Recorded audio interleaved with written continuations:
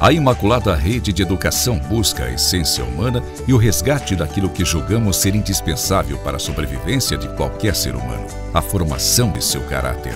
Neste sentido, o cultivo à espiritualidade é incentivado desde cedo em nossas escolas, através do estudo, da vivência e da reflexão dos valores cristãos. O objetivo é despertar princípios que sejam a base para formar cidadãos mais dignos, íntegros, justos e solidários. Somos Mais Imaculada. Matrículas abertas.